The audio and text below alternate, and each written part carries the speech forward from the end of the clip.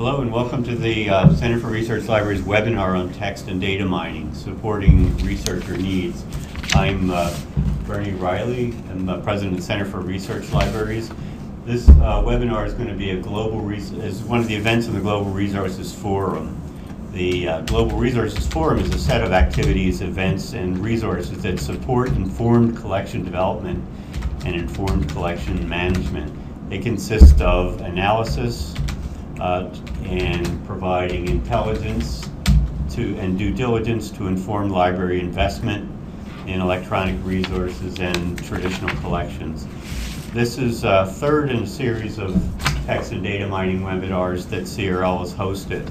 Uh, this is this will not be an overview of TDM, um, and we won't be going deeply into technical methods, although there will be some case studies shown. We won't get into such details as things like topic modeling and that kind of thing.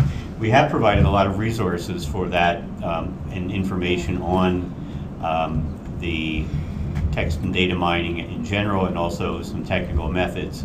There is Ann Okerson's paper that was produced for IFLA and posted on the web, and that's linked to from the event page, as well as the um, webinar um, PowerPoints and audio from previous CRL webinars. Those are also, you can find those on the events page of, on the, on the page for this event today on the CRL website.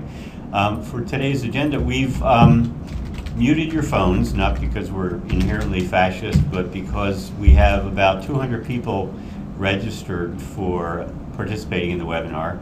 And with that many people, we could uh, potentially get an enormous amount of audio feedback from um, phones if we, for background noise on your phones if we didn't, uh, we didn't mute them. But we are taking questions. In fact, we encourage you to, to ask questions and su submit your comments using the chat function on your screen.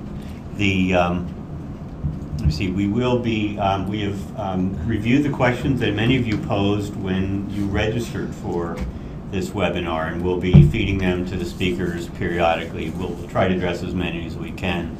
Um, our speakers today are three. Um, first, Robert Scott from Columbia University. Um,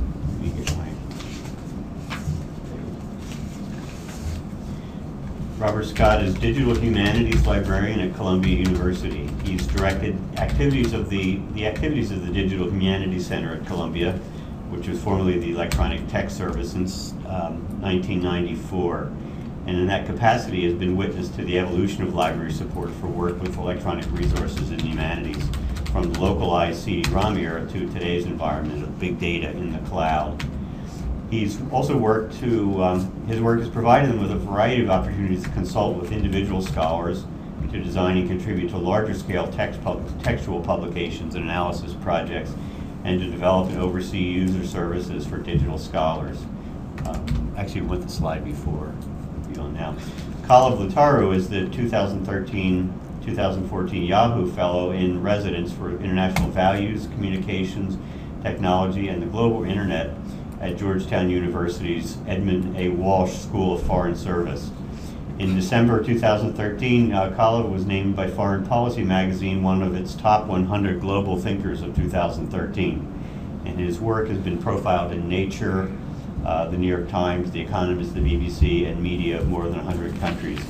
His most recent collaborations include the first in-depth study of the geography of social media and the changing role of distance and location in online communicative behavior around the world. He's also created the GDELT um, database of more than a quarter billion geo-referenced global events from 1979 to the present. He's um, so he's Kalev is deeply into uh, the um, text mining and, and computer-assisted research. Uh, Ann Okerson, Ann Shumelda Okerson will give us, uh, will comment and, and provide, lead the uh, questions and answers and discussion after Kalev and Robert Scott speak. So with that, I will um, hand you over to Robert Scott. Thank you, Bernie. My name was Hence Bob Scott, and, and I'm Digital Humanities Librarian at Columbia University. Um, I want to emphasize at the outset that the perspective I bring to our discussion today is that of a public service librarian learning his way through a rapidly unfolding and changing reality, rather than that of a developer. I'm therefore very happy to be sharing the podium with Kalev, since I know he will be able to address some of the more technical questions many of you have, and with Anne, who brings so much wisdom and expertise to the field of vendor-library relations. I look forward to learning much new, as I always do, from what they have to say. Next. In the era of big data and the cloud, the world of academic librarianship is facing dramatic changes. While the options that these changes represent have always been present, they are more apparent, they are apparent to a degree of unprecedented intensity today. Increasingly, libraries are becoming, or at least able to become, not just repositories of scholarly information, but workshops for the transformation of that content using tools that were largely unavailable to earlier generations. In that process, academic librarians can and increasingly need to begin to think of themselves not just as curators, but as collaborators and partners with their scholarly clientele in that transformation process. And the collections that the libraries contain can increasingly be looked upon not simply as discrete works, but as potential components of a larger, infinitely reshapable network of material, including even more information lying beyond their institutional walls. On all these fronts, traditional boundaries are breaking down, and a new synthesis is emerging. Data mining and natural language processing are two important and powerful tools coming to, fore in, to, to the fore in this new world. I want to speak today about two text mining and natural language processing projects which I've had the opportunity to participate in at Columbia and what that experience suggests to me about the future direction of our profession. Next. At Columbia, I work in a department called the Digital Humanities Center, an outgrowth of an older unit known as the Electronic Text Services Unit. Established well over two decades ago to take advantage of the exciting new opportunities that text and electronic format was going to present to scholarly research. It has carried on zealously for all these years, but for much of that period, its efforts were frankly confined to its little corner of the institution.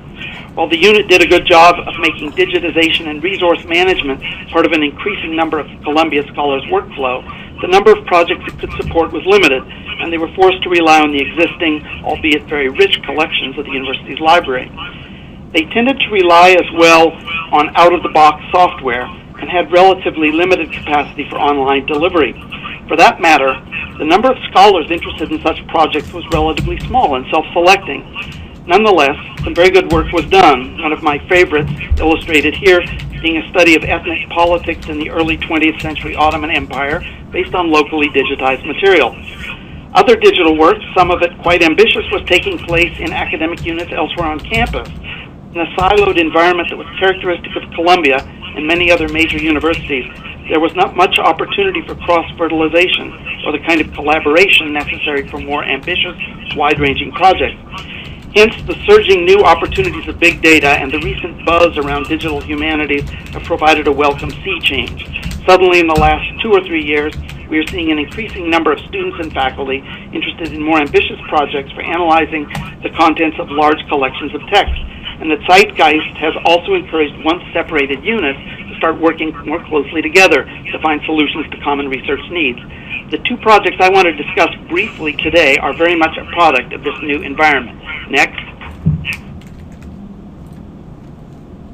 First, the declassification engine is the result of an, an, initiative by Professor Matthew Connelly of Columbia's History Department, who is interested in wrestling with the challenges posed to modern U.S. historians by the enormous and burgeoning amount of classified documentary material.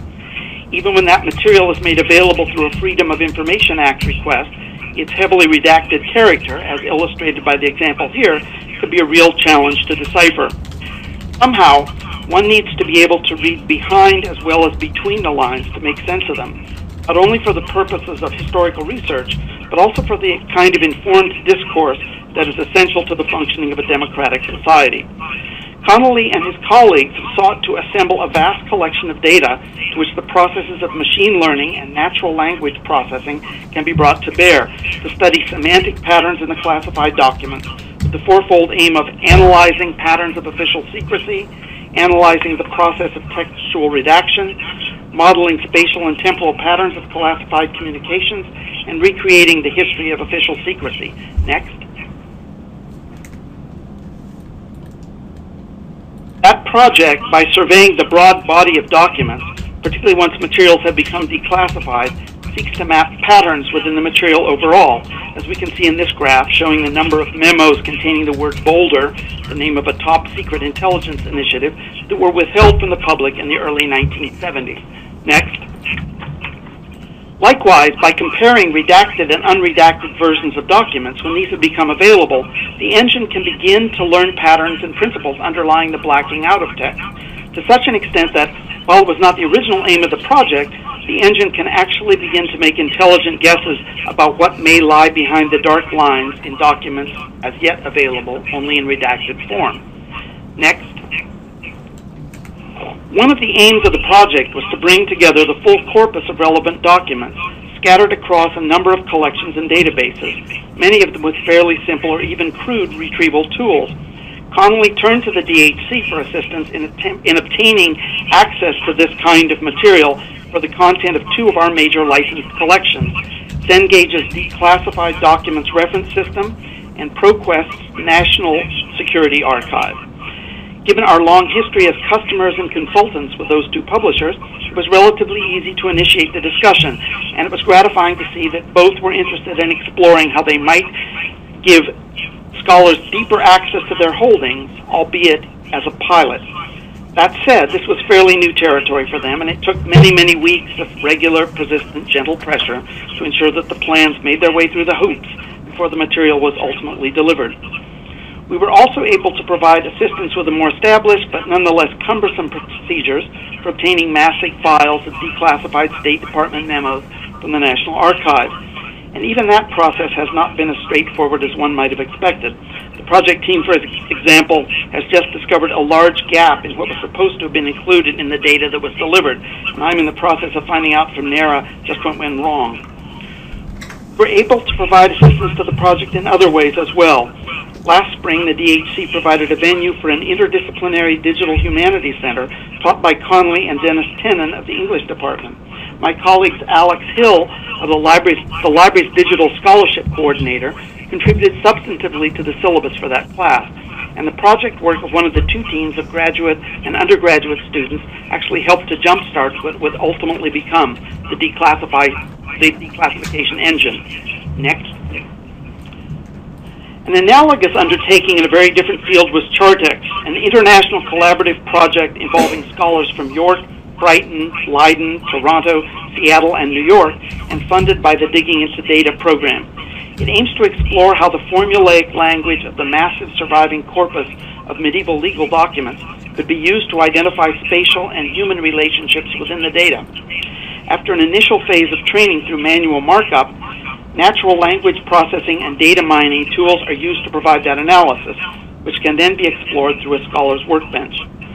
Columbia's representative, Adam Kosto, one of the world's leading experts on medieval charters, had worked with us in many areas before, contacted the DHC about participating in the project, and we have been able to take part in a variety of ways, including the processing of data, coding, advising, and helping to organize an evaluation of the finished project by a group of students and researchers.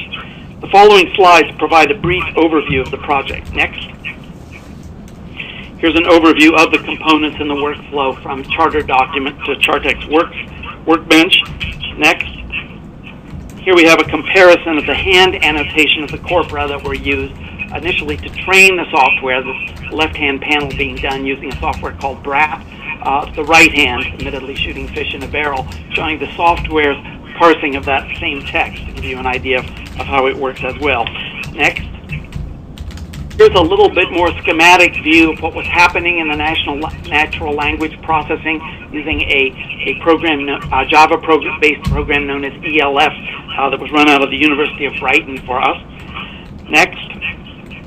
An example of the results of data mining of that analyzed material, showing the relationships between the people, uh, their occupations, places, and, and family relations.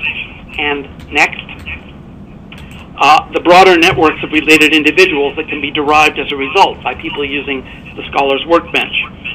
Next. Sadly, while we tried, we were not as successful as in the declassification project in negotiating with commercial publishers for access to content. Major published collections of value here are produced largely by European publishers, and the continent's more guarded approach to intellectual property turned out to be a showstopper. This kind of approach is regrettable, not only for this project, but I would also regard for the continuing vitality of the impressive published collections that those publishers have produced. In fact, in general, this is something I think that, that all publishers of vended material need to think about in the day of open source and big data, how they're going to continue to remain relevant when people expect their data to be so easily accessible. Instead, Chartex to date has relied on material from the above, which were produced by a variety of academic institutions. Columbia has also undertaken to digitize a set of data on its own, a few thousand Latin charters from Poland in the 13th through 15th centuries, but that process has proven very time consuming, and the material will not be available for analysis until later this spring. Next. Our experience with these two projects has been valuable and encouraging. The DHC is pressing on with additional projects, including an ambitious open syllabus project led by Dennis Tenen of the English Department and Alex Hill, our digital scholarship coordinator, which aims to mine the content of over a million syllabi to study phenomena such as canon building. A slightly different project with a group of faculty and independent researchers aims to digitize the raw materials assembled several decades ago for the Language and Culture Atlas of Ashkenazic Jewry, providing enhanced online map making and analysis capacity for this data. Needless to say, we find this a very attractive direction for libraries to pursue.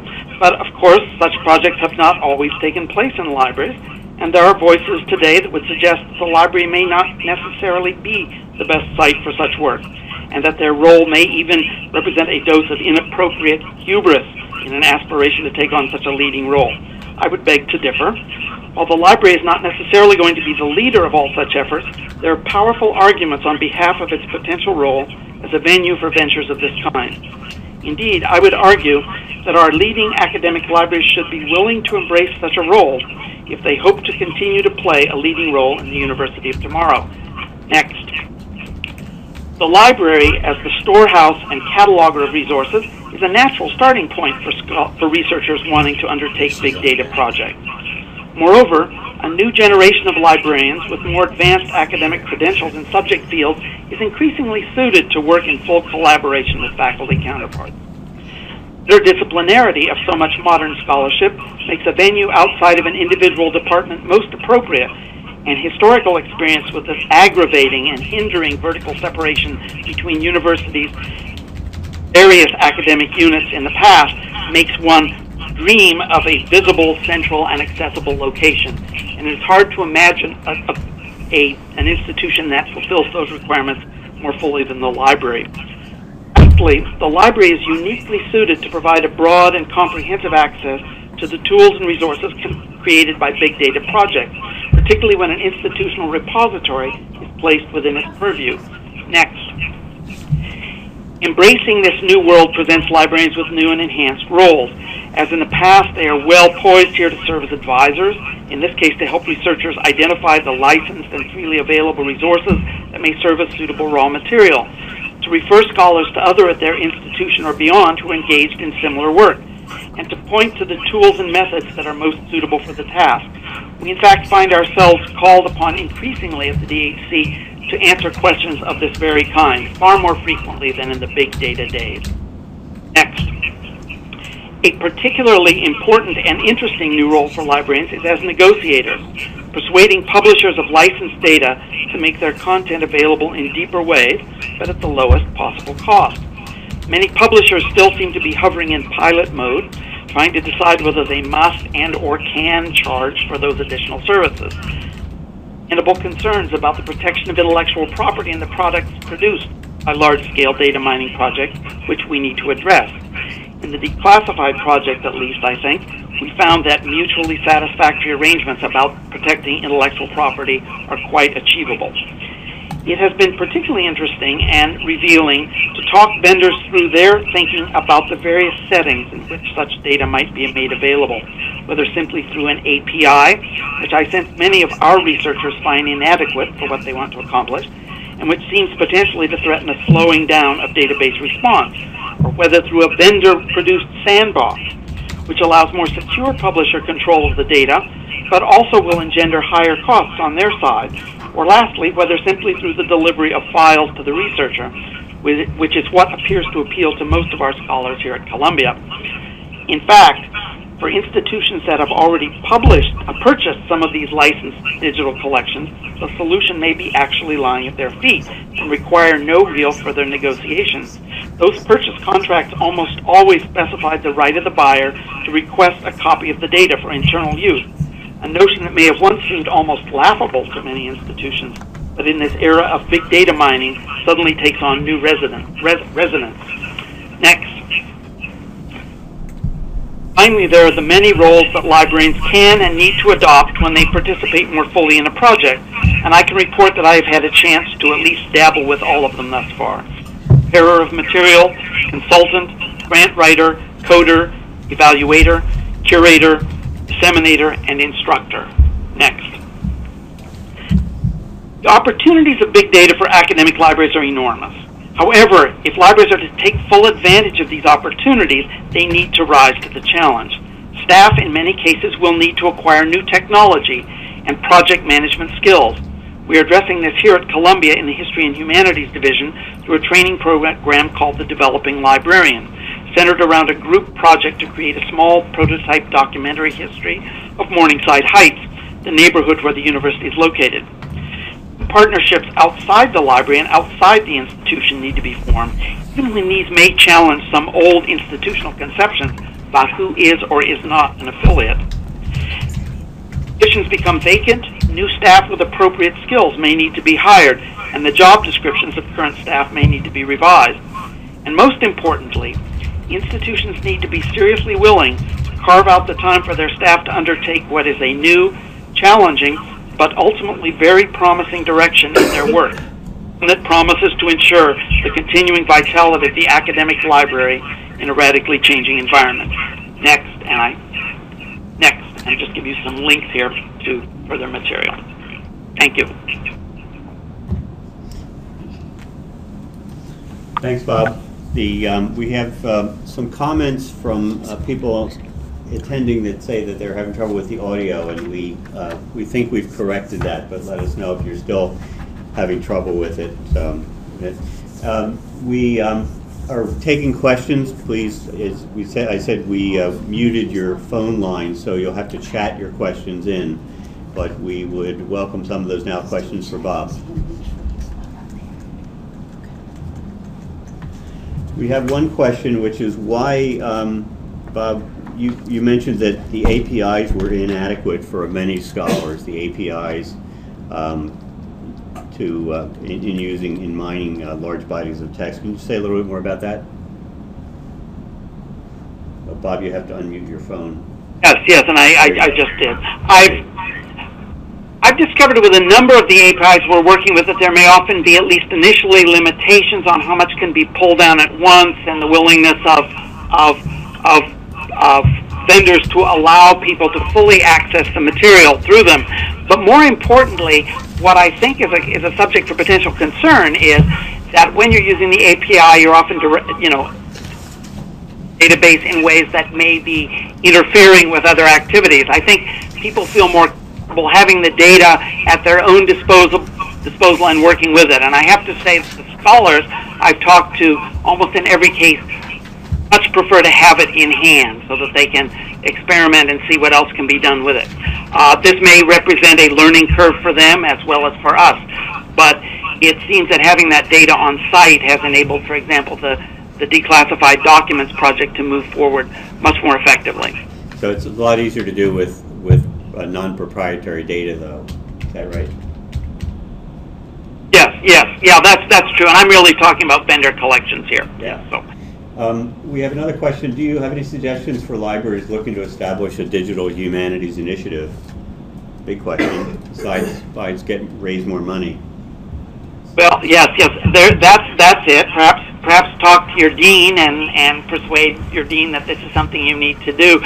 I think I think there are a number of pieces involved there. If you want to identify faculty members on campus who have a, a burning desire to undertake such a project. It was very helpful that, that prominent individuals like Matt Connelly or, or Adam Kosto were available to suggest that this was what they wanted to undertake.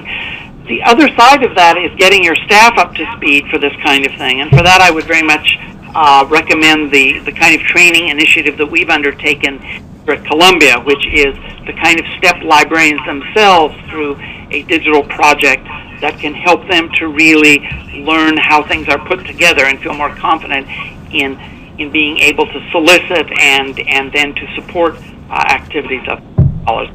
But uh, make no mistake, there one needs one needs financial resources devoted to this to be able to do it, and and on your institution and what it's done so far. Great, thanks, Bob. Someone sent you a question directly, so if, if you'll uh, look at your chat screen, you, maybe you can get that one. I'm seeing it here. We didn't get to see it. Wait, wait, yes, yes. Oh, wait, wait, here. Yes, yes. All right. Down here below the horizon. Um, okay, you're, you're referring to my hubris comment. I think I think that what I'm talking about here is the discussion that kind of surrounded the the recent the recent OCLC uh, uh, study of whether your library needs a digital humanities center, and the the statement there that there needed to perhaps be some some some pride control uh, to make libraries realize that they're not all things to all people. And I, I think the, the pushback from a lot of people in the digital humanities field, you look particularly at Bethany Nowviskie's comment uh, to that, suggests that that was at least read that way uh, by some people. I may have created a bit of a straw man here.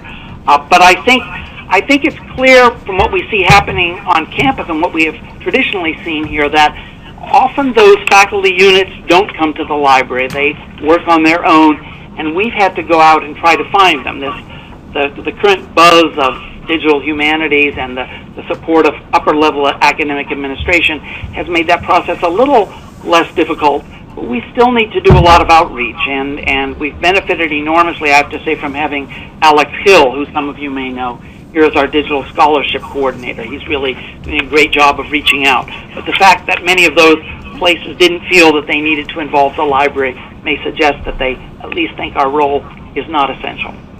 All right, thanks, Bob. That was um, covered a lot of territory there. We're going to move on to our next uh, presenter, who is uh, Kalev Leetaru from Georgetown. Kalev, you can unmute your phone. Hey, can you hear me? I, we can. Excellent. All right. Uh, first slide. Excellent. Well, it's a tremendous honor uh, and pleasure uh, to be presenting to all of you here today. I'm going to be covering a, a lot of ground here, but hopefully trying to give you a, a, a nice sort of overview uh, uh, from, from a practitioner standpoint. Next slide. So what I'm going to start with is, um, is it uh, slide number two? There we go. Uh, so, you know, what does it look like? So sort of peering back the covers and saying, what does it look like uh, to actually study the world through the lens of, of data mining? Next slide. So I'm showing you here just sort of a cross-section of, of just a couple of my, my recent projects, and the images go from top from top right in, clock, in clockwise order. Uh, but project was mapping the complete English text of Wikipedia, which uh, involved uh, uh, taking all 4 million English language entries, about 40 gigs worth of text, uh, and applying uh, what's called full-text geocoding algorithms to actually read to the text, identify located uh, textual location, textual mentions of location, disambiguating that and placing that in a map, extracting about 40, 40 million dates out of that, and then actually building a network connecting all of that together. Uh, the first large-scale examination of the geography of social media. So this was a, a, a massive project on how much geography can we recover from things like Twitter. Uh, another project is, spread, is tracing the spread of ideas through space over uh, millions of books. Uh, another project, obviously, is the collaboration uh, with Matt at, at Columbia that, that uh, Bob was just talking about.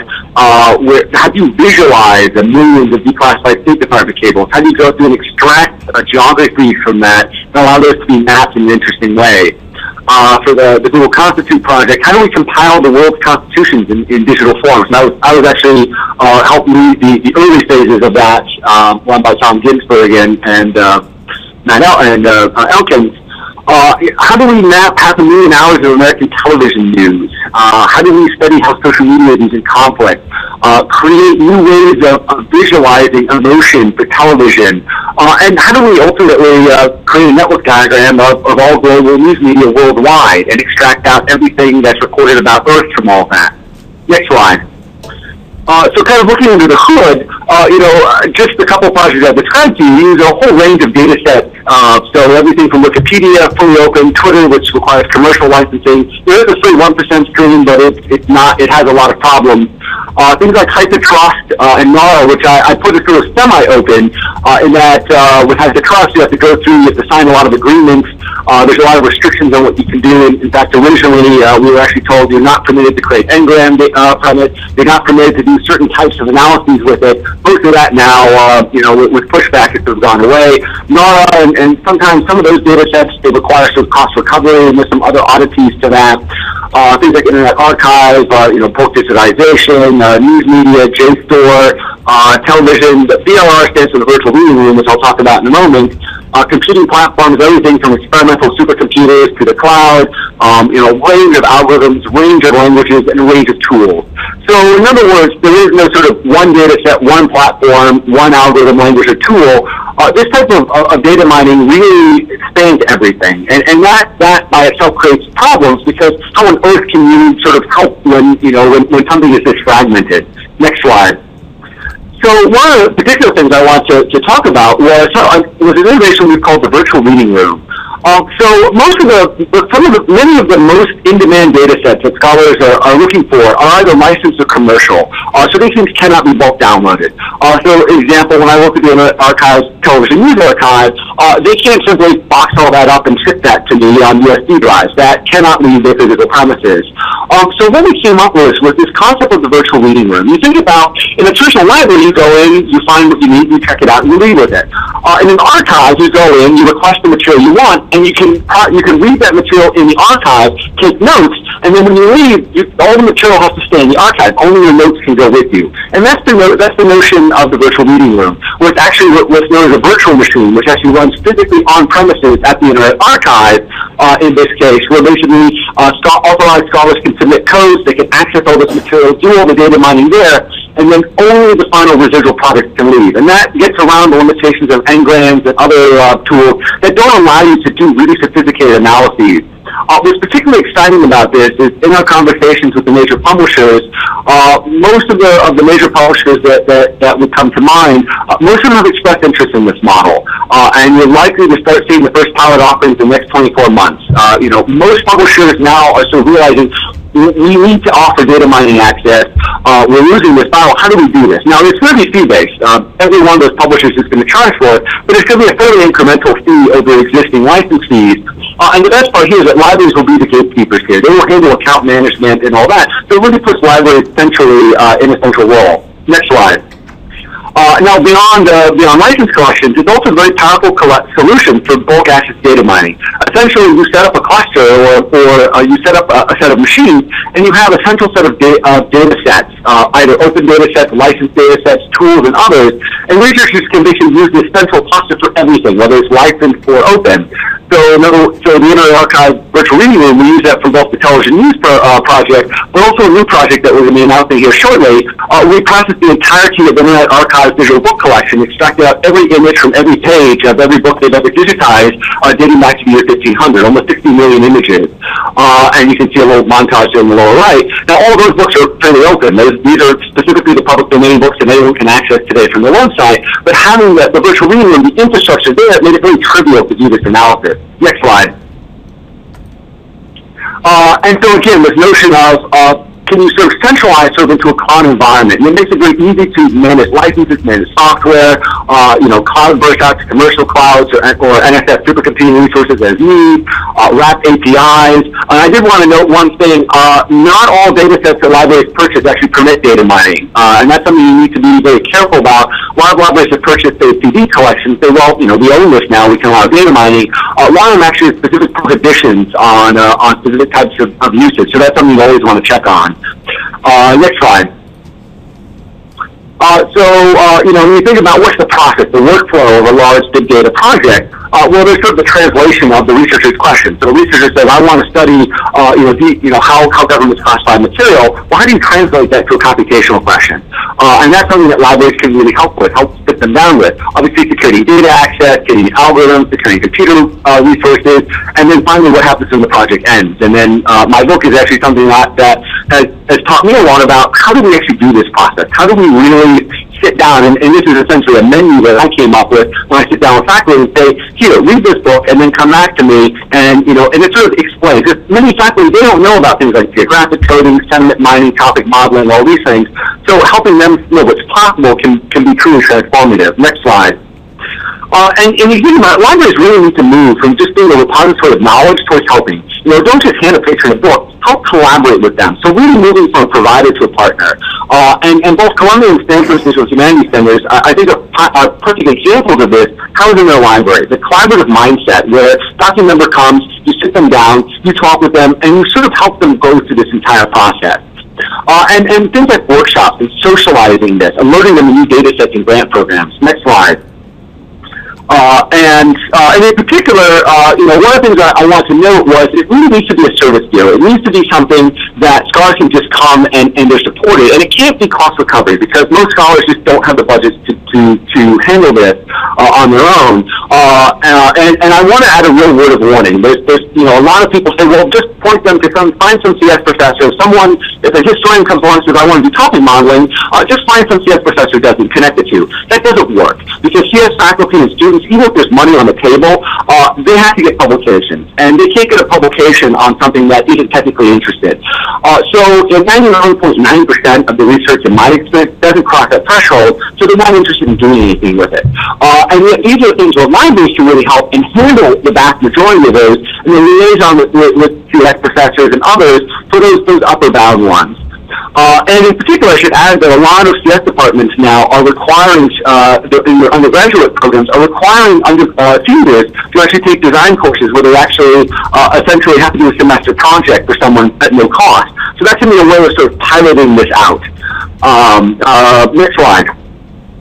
Uh, so gateways and gatekeepers. So again, most of the data sets aren't available for data mining. However, most publishers, in my experience, are willing to have a conversation. But unfortunately, there's been enormous damage done to this uh, because historically, so many faculty have come along to and to publishers uh, and said, "Hey, you know, I've got this great idea. I want to do this project." The publishers historically were very open to talking with them. But what happened is, is and I found this publisher after publisher, I'm getting feedback, you know, we, in the past we would have jumped at this and immediately provided data to you, but we've had so many projects that we did all this investment, and then the faculty member when they got the data realized they couldn't do anything with it, and so it was a waste of our time. Uh, and so that's something where I think libraries can really help, because they can act as gatekeepers. Sit down with a faculty member and work through it. Ensure that they have the computational resources, the work plan. They know, they don't just have an idea, they know how to execute it. Uh, and then sort of help, help ensure that, that they don't reach out to the publisher until they're ready for success. So essentially then the library helps the gatekeeper. So when the library reaches out to someone like ProQuest, they can say, we vouch for this person. They're ready to go. Uh, and bulk APIs, I should add another challenge with APIs. Most APIs are not designed, designed for single exports. Like, for example, Library of Congress's Chronicling America, you can download a set of pages or HathiTrust. Uh, but most data mining, of course, vast amounts of material that you can't do from those APIs. There are bulk uh, download APIs. So Pro, or um, uh, LexisNexis, Factiva, and others allow bulk exporting material, uh, but these are very expensive. So libraries can help bulk negotiate that. Uh, next slide. Uh, and uh, so another way that uh, libraries can really help is with information sharing. Uh, so you think about, for example, the Internet Archive, if they're looking for scholars interested in making use of its collections. For example, it has half a petabyte of everything crawled from .gov over the last 15 years. Uh, this actually, uh, when I, I uh, when I was looking at Matt on the on his project, I actually uh, asked him. I said, "Hey, you know, uh, Internet Archive is this huge collection. Are there others that you know of at Columbia that I might reach out to that might have an interest?" And he actually responded, "Well, actually, uh, I've been trying to find a way of getting all the all the material from foreign reading rooms on U.S. government websites. Could we do this?"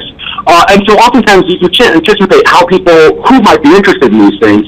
So having sort of a local campus mailing list, for example, where you can sort of forward things out, or when we release an image archive from, from the Internet Archive, uh, how do we get the word out to the right people? Or like Twitter and Gnip now have their data gift program. Uh, you know, very few faculty in the humanities and social sciences are aware of that program right now. It's mostly CS faculty that have become heavily aware of it.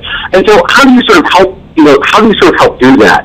Uh, and, and some of that might be something like a, uh, say, a CRL or something, creating sort of a, a national mailing list uh, where you can sort of exchange you know, latest grant programs and information and, and so on. Next slide. And then finally, of course, the life cycle. Uh, so the output of these projects tend to be very, very large. Uh, cases, it can be terabytes of data. Uh, so helping faculty understand which of their output, uh, output products are shareable. Oftentimes, vendors will say, here, you know, I'll give you a dump of everything I hold, of the entirety of, of the following 20 newspapers, uh, but no text, only codified numeric representations can be released. So, uh, and Ngrams may or may not qualify for that. So kind of helping bridge, you know, going back to the publisher and finding out, will you allow us to release this, this, this, and then once you determine what can be released, uh, having the services to do that. That's, the faculty can't just put that up on the website somewhere, you're going to really have to help with the bandwidth and disk. Uh, and increasing the use of interactive. Uh, so a lot of faculty, for example, are using interactive web uh, mapping tools.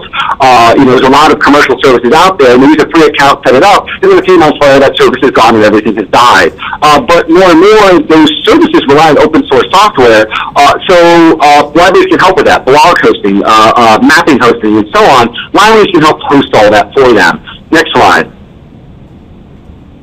So thank you very much.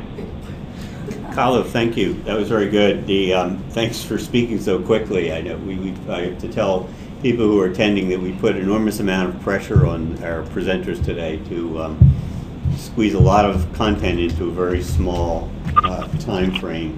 We do have a couple questions. Uh, one, someone in, this for Kalev, this is this is for you.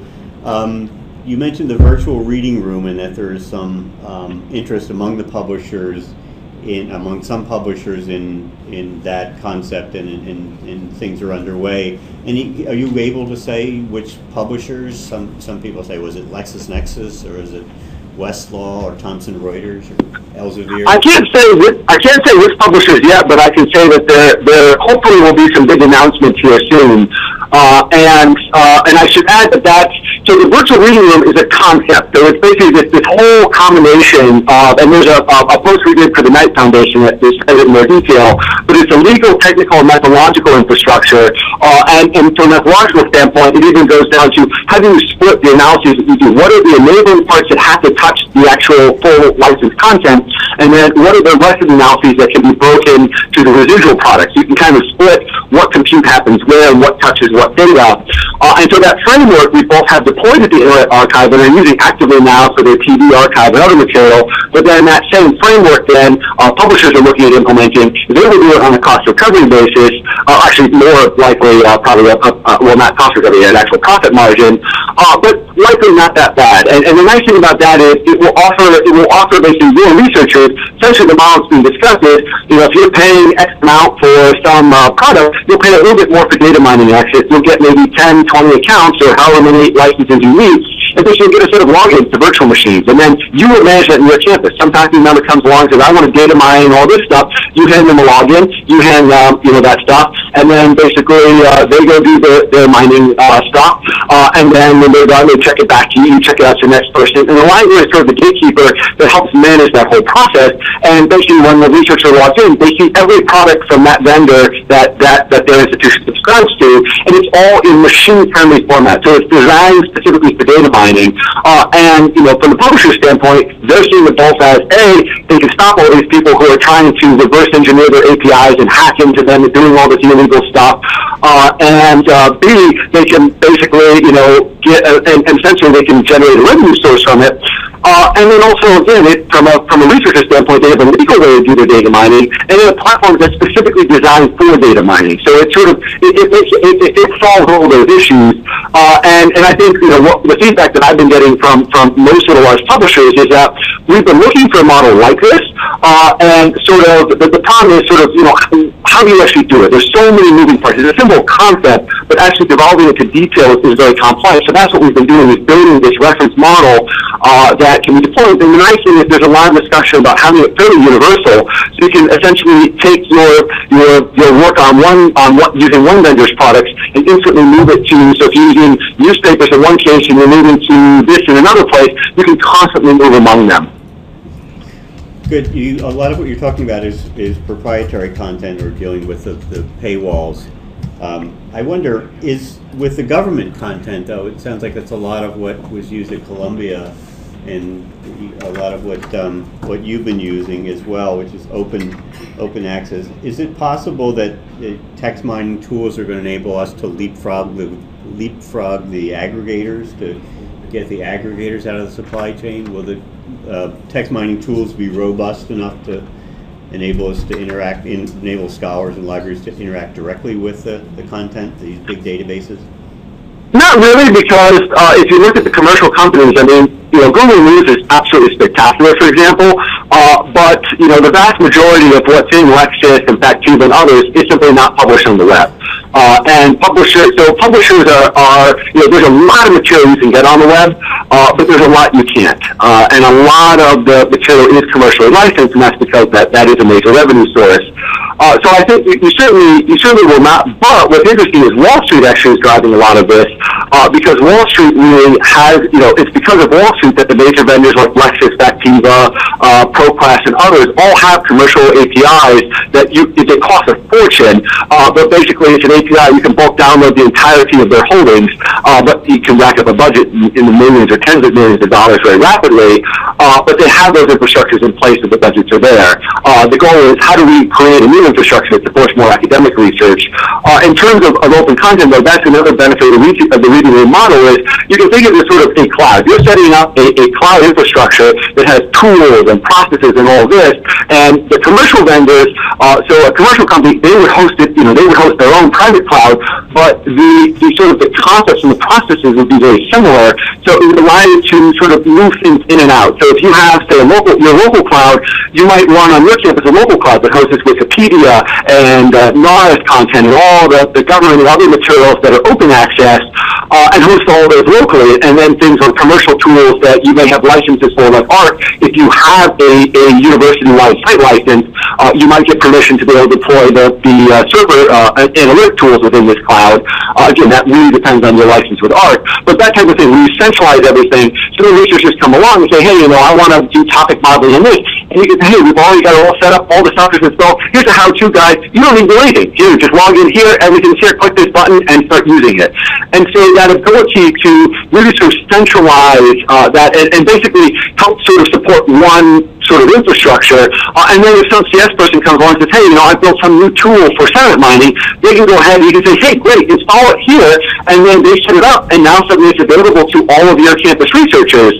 Uh, so that notion of, of being able to, and, and the thing is that those cloud models, if, they, if they're done properly and they match, then all of a sudden someone can take that same code then and copy that over to a commercial vendor uh, that's offering a VR model and run that same code, but this time run it on a license collection. So kind of that, that that, movement of right now where things are very chaotic and ad hoc to really sort of say, let's set up centralized environments where all the tools are there, we have all the expertise on it, uh, and it makes it really, really simple, and it allows you then, as a library, uh, to sort of, you know, create a central place that everyone gathers around, but also be able to, to, to force connections with, say, the NSF supercomputing grid, commercial service providers, so someone comes along and says, hey, you know what, I need 10,000 processors, you know, my project's so huge, I need 10,000 processors for a couple of days to do this, you could set it up where maybe the library even has an XSEDE account uh, and and basically burst them onto an XSEDE super, XSEDE is the NSF supercomputing program, burst them onto an NSF machine at no cost for a, for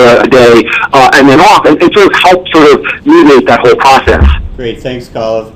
We're going to, we're um, dealing with a lot of very compressed information, so I want to remind people that we are archiving the PowerPoints and the audio of this webinar on the CRL website. So if you're registered for this webinar, you'll get a message from CRL pointing you to that.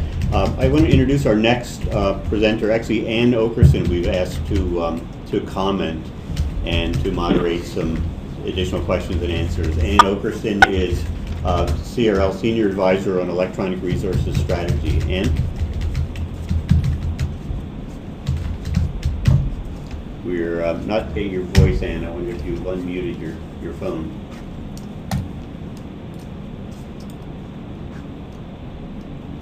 Ann, could you press star six again, maybe?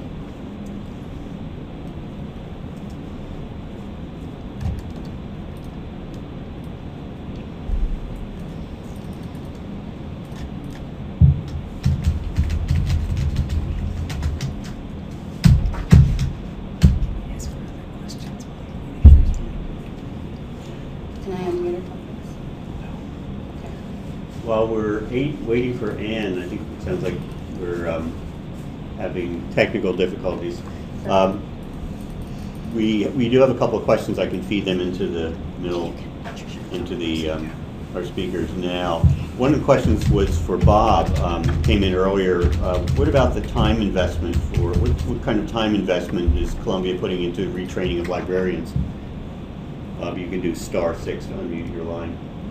it's it, it it's been an interesting process. The um, we found, as I said, by concentrating on uh, we're we're having biweekly meetings and and uh, for the developing librarian project, and it's been very helpful in some ways to have a sort of unified project and one that that I think we can all relate to and that is modular enough that people can kind of uh, devote some time when it becomes available to them. That said, everybody complains about not having enough time to keep up, but we're at least able to, thanks to mostly Alex Gil's superb teaching, uh, having a regular instruction program going on every two weeks. We're all committed to attending that meeting, and there, there continues to be a lot of enthusiasm for it. I think one thing that's really key is this is an area of the, the local history of Columbia's neighborhood that everybody can relate to, and everybody has their own sort of interest in, and so so people are pursuing things. I some of my colleagues who are you know running a conference somewhere else this year, the like bemoan the fact that they they can't devote as much time as they'd like, but we're we're keeping up as a group. I mean, I think in all honesty, we haven't uh, perhaps come as far as we'd like, but I think what's important is just maintaining the pace and maintaining the vision. And we've just we've just now broken up into project teams, and I think that's going to enable us to this a little bit more. But it's it is a matter of sort of carving out some time. As I said, what what helps is that that this is a topic that that everybody was able to relate to and has a has a, a certain intellectual buy-in to simply out of out of their own curiosity. But but it is a challenge. I mean, even more challenging in terms of time. I mentioned about how how our I think somewhat rashly committing to produce a set of of digitized documents for the uh, for the Chartex project has been a lot more time consuming than we imagined. And so thinking about timing and realistically what one can manage on with a limited staff is is something one has to be constantly checking for. Thanks, Bob. Someone Uh, else? Hi, Bernie. Can you hear me now? Ah, yes, we can. All right. I'm so sorry. I don't know what was happening here, but um, I was going to initially summarize what we've heard, but I think it speaks for itself. So let me do something a little bit different for the rest of my time. Um, some of the advanced questions have asked that we address, at least briefly, some copyright and license issues, particularly with regard to the recent Google ruling. So here we come back to licensing, and I think even the virtual reading room will require some licensing. Um, so first of all, what does U.S. case law say? Um, attorney Mike Carroll, who's now at American University, wrote recently in our mailing list, Slide License L, the Google Books decision provides us support because Google, Google created a digital archive of publishers' works for the purpose of making them searchable and to enable text mining. The court held that Google's creation of this archive and its continued retention was necessary to the beneficial purposes of providing search and text mining. Google's keeping the archive after it created its index did not affect the publisher's economic interests in exploiting the copyright works and therefore is a fair use. And Mike goes on to say, although the purpose of the text mining researcher and Google are rather different, they can both articulate a socially beneficial reason for keeping the private archive copy, and their doing so doesn't interfere with the publisher's ability to exploit the works. Well, that's one view, uh, a very fair use friendly view, and then Sandy Thatcher, who's a publisher, replied, Just to remind everyone, the Google, Google case is on appeal in the Second Circuit and is binding precedent now in only that circuit. One may reasonably argue, and I suppose the appeal will, that Google is giving participating libraries a copy of the Google scan of all of its books, displaced a sale of a digital copy, and that Judge Chin chose to ignore this market effect doesn't mean he was right. So, if the question is, does the Google ruling help us, uh, the answer is a definite maybe. So what about legislation? Uh, in U.S. law, text and data mining is not a copyright limitation or exception.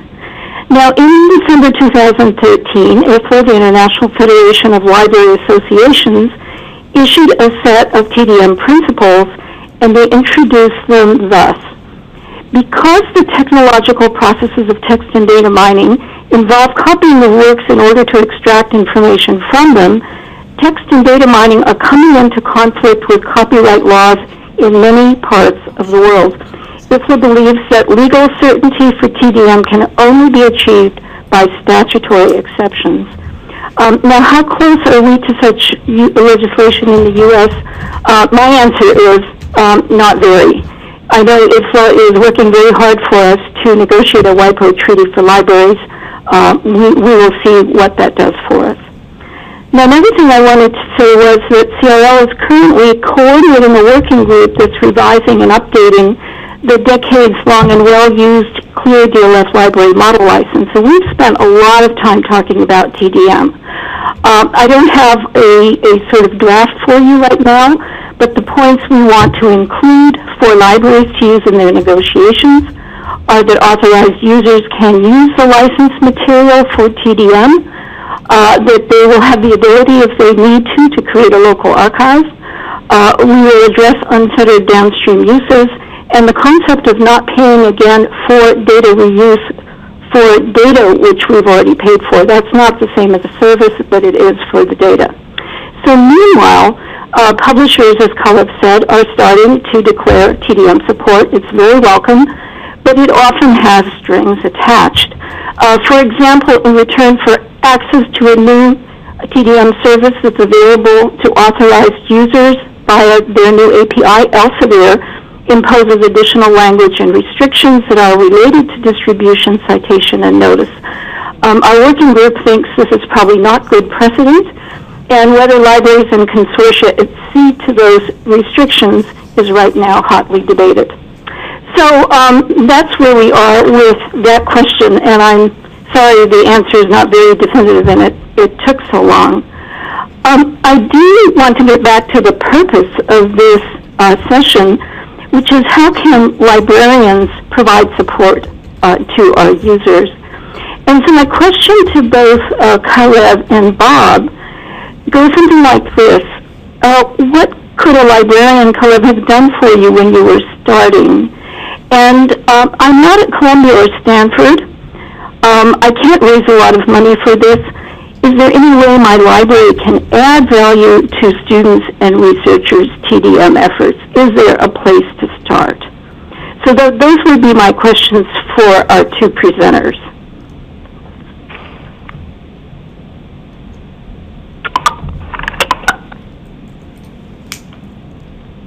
We welcome. Bob, do you want to go first? Yeah, whichever one of you wants to do it. No, I, I think that, that at Columbia, and I don't know if this is the is the um, is, is is the final answer. Um, I think we found that we can work sometimes with vendors, and I think I think that, that it's been helpful to have had those many years of, of working together with them. And and for example, I have a student who's interested in doing a data mining project for a very small thing. He doesn't have any research budget for himself, and we've been able to do some negotiating with ProQuest to get him access to some historical files that we think in ProQuest historical newspapers simply by the, the personal reaching out. Now, I don't know that that's a, that that's a good long-term or, or broad solution. I think it's probably helped that Columbia has already put a lot of money down on the table in the past, and there's a, there's a sense that this is, is, is a useful way to go. But I, I find, I think that, that we need to recognize the vendors are, you know, some of them play very hard, but I think others need to be very careful about playing too hard. uh, when one hears Kalev, Kalev describe the wide range of resources that are available today out there, um, you sort of recognize that, that, that some of these folks better better be thinking about how they make their services more readily available. And and I found at least in the discussions we've done around this one particular student project that that um, that ProQuest seems interested to at least explore how we can we can make this more available. It doesn't promise to have any great prestige value for them, but I think that they're themselves exploring how they can make these things reasonably accessible. So some of it is, I think, our ability to go to the vendors and to talk to them and to try to persuade them that perhaps we need to come up with better models. Yeah, so I mean, from, from my perspective, I mean, first off, one of the nice things about the virtual reading concept, the reason it is getting such traction, uh, is that it avoids all of those issues. Uh, and essentially, uh, you know, one of the issues with, with obviously all these rulings that have been going back and forth is, well, do libraries and, and academic institutions have the right to stockpile material that is not theirs? Uh, and, you know, of course, you, you step off from the copyright law, but actually copyright law actually doesn't play that law. It plays a role, uh, but for libraries, actually more often it's, it's licensing law, uh, in that, you know, a, a uh, you know, one of the commercial vendors, they may have scanned, uh, you know, material, they may have scanned books from the early 1800s, uh, but, you know, copyright law would say the original book is out of copyright license law, uh, has gone both ways. You know, there, there's been lots of lawsuits back and forth as to, well, you know, who actually owns, uh, you know, and, and, and the nice thing is copyright law has gone back and forth, but license law is where, actually, I should, I should clarify that. Copyright law has gone back and forth as to who owns that scam. License law is very clear. If you obtain that through a license from a commercial company like ProQuest, uh, you do not have the right to stockpile that and then distribute that, even though the original material might be, uh, uh, might be uh, public domain, even though copyright law might prescribe certain things. License law is very different. And so that's one of the nice parts about the virtual reading room is that no longer is the library or the, or the institution's problem. If, if a commercial company, if one of the big vendors says, hey, you know, pay an extra 10000 a year, an extra 5000 a year, and you have full data mining access, uh, no different than the current subscription that you pay for a web, you know, for web access for people to search that service. Uh, all those issues go away. And that's, I think, one of the most compelling elements of the virtual reading room is that it sidesteps all of those issues uh, because it's the actual publishers and, and holders themselves that are providing that service. Uh, then in terms of, which I think is, is really where things need to go, because I think, you know, no matter how things settle out with things like Google Books and others, there are always going to be specialized collections uh, that simply are not available uh, uh, uh, to any to any other means. In terms of how libraries can step into this, obviously there is a cost element to this. Uh, but I think libraries can, can first step into A, you know, a centralized mailing list. You think about it, if there's some kind of centralized mailing list out there that, that all the libraries uh, subscribe to, that, you know, something like the Twitter Data Gift program comes out, that, that would come out and say, hey, you know, forward this to all your faculty that are interested. Well, libraries, first off, that, that requires just a little bit extra staff time, but no different than the library tracking what the latest uh, commercial offerings are. Uh, so helping sort of spread information is a, is a first really huge step. Uh, but then I think, you know, starting liaisoning with, uh, you know, computer science programs, if you have a CS department in your, in your school that has a senior, a senior projects class where seniors have to do collaborative projects for, for people, uh, that's a great way. Find a couple of uh, scholars, half scholars that have really interesting projects, partnering with that, and start that as, a, as essentially a zero cost uh, first step. Uh, and then start looking, and the nice thing is actually eventually this can be cost, this actually covers its cost. It's totally cost recovery uh, if you have the right scholars. So if you can get the right scholars in the door, um, what we've found is funding agencies don't want to fund collecting stuff. They don't want to pay and say, hey, you know, we'll give you $10 million to go digitize a bunch of stuff and put it up on the website. What they will fund, however, is research. So if someone, it's not, it's not enough to say, hey, I'd love to scan all these, you know, uh, uh, you know, medieval manuscripts on something. It can be very difficult to get funding for that. On the other hand, a scholar can go, uh, there are many organizations, a scholar can go say and say, you know, I'm looking at studying the following phenomena uh, in, you know, in medieval, uh, you know, medieval such and such area. To do that, I'm going to need all these materials. They're not digitized yet, so as part of my broader project, I'm going to digitize that and make that available. But that's that's basically just an enabler to the broader research and the focus on the research. And it turns out that funders love to, they don't like to fund collection or stores, they love to fund research. And so that becomes a backdoor of funding, and that's actually what we're finding uh, is a lot of the organizations I've worked with, uh, you know, they've been really strained. How do I get funding in this in this changing environment?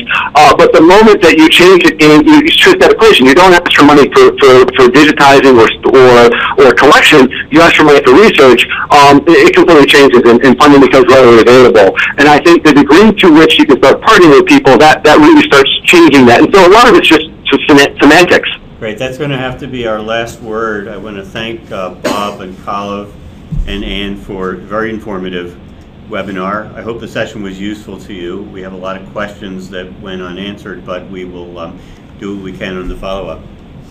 Yeah, thanks, Bernie. Hi, this is Gwen Ihnat, everybody. I'm the name at the bottom of all your emails from us. Uh, just wanted to thank our presenters again. They devoted a lot of time to this presentation. Uh, if you do want to follow up with any of them, the contact information is on your screen right now. I'll also be sending out yet another email this afternoon with this information. Uh, next slide, please. We also have some upcoming webinars. If you enjoyed this one, we also have one about uh, access to the Linda Hall Library collections for our members uh, with our own Kevin Wilkes on March 5th, and the Print Archives Preservation Registry on April 12th. Uh, Bernie, do you want to say a couple of words about the annual meeting? Know, the annual um, meeting of the CRL Council Voting Members is being held in conjunction with the Global Resources Collections Forum on April 24th and 25th. The Global Resources Collection Forum, it- we titled this year uh, Leviathan, Libraries and Government Information in the Age of Big Data. We're going to be looking at the problems and challenges of scholarly access and preservation of born digital government data and government records. And so, in fact, Matthew Connelly uh, from Columbia University, this project Bob talked about, uh, will be speaking about his work with de- the declassification engine and the, uh, the um, challenges of dealing with State Department and CIA and FBI electronic records specifically. So we hope you'll uh, join us for that. That'll be an in-person event in Chicago on April 24th and 25th. The uh, snow should be gone by then. Yeah, we promise the weather will be better by then. Uh, Then the final slide, please. Uh, When you leave this event, there's going to be a pop-up survey. Please fill it out. It's really valuable for us to get your feedback on these events as we continue to refine our webinar program. Uh, Also, if you want to view this presentation again or share with colleagues, we did record it and it will be up on our YouTube channel. There's actually a lot of archived presentations on our YouTube channel, so be sure to check that out. Uh, You can find us on Facebook and Twitter. Our CRL Connect is uh, an online newsletter that you'll get about every two or three weeks to help keep you informed about future events like this one. Thanks again for joining us and have a wonderful afternoon.